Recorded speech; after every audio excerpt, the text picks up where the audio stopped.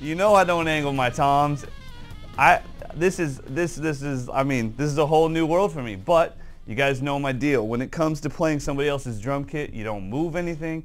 You just sit down and you play. And this is Pete's kit for the day.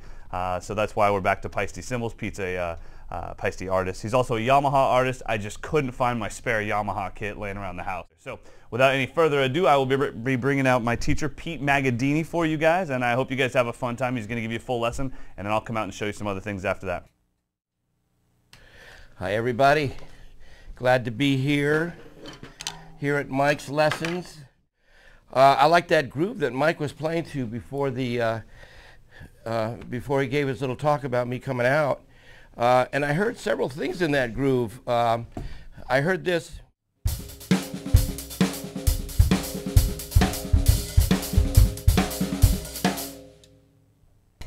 That one, two, three, four, but I also heard one, two, three, four, one, two, three, four, one, two, three, four. And from that one, two, three, four, I also heard one, two, three, one, two, three, one, two, three.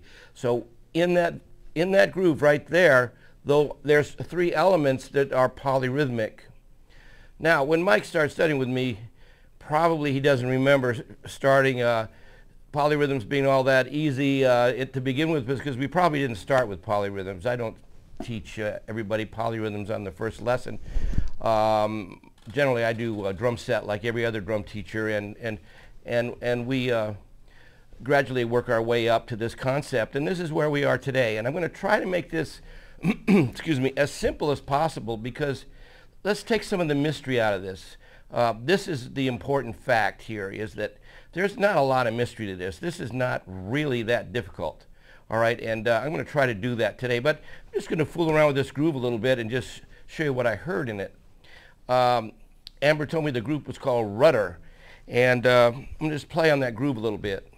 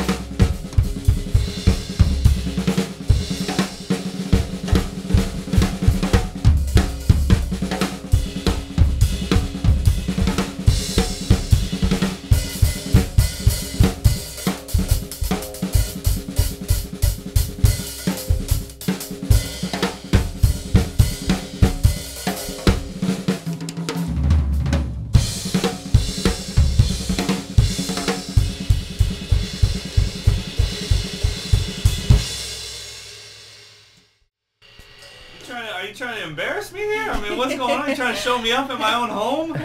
Wow, that was awesome. Because in that groove, you heard that three.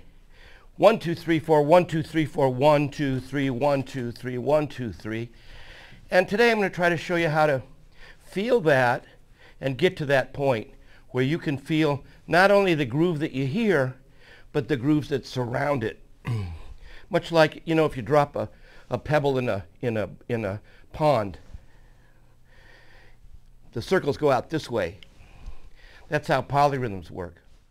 I'll just give you a little solo using some of those things, uh, and then I might actually play it against a samba as well so you can hear it in a different application.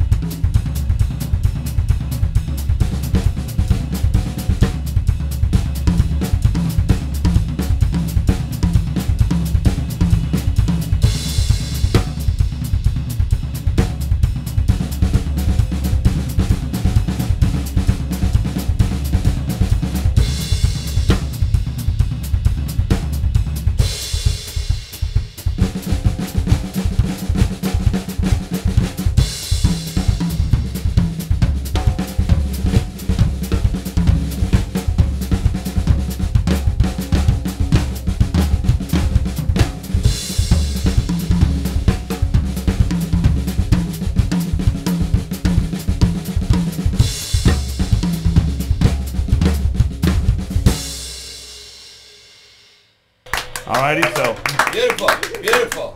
so that's kind of the use of polyrhythms. Like you said, you don't have to use it, and a lot of times, nine times out of ten, I don't use them. What I'm using is the freedom that they gave me. You know, my this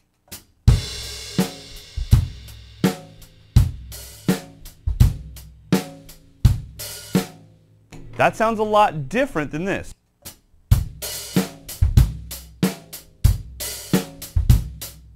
Okay, that's because of the freedom that polyrhythms gave me. They opened up that highway so my, my, you know, my, my headlights weren't focused so narrow. Everything was open and it was like, oh, we're good now. We're good to go. So I hope you guys will kind of check into this stuff. Uh, Amber will be pasting.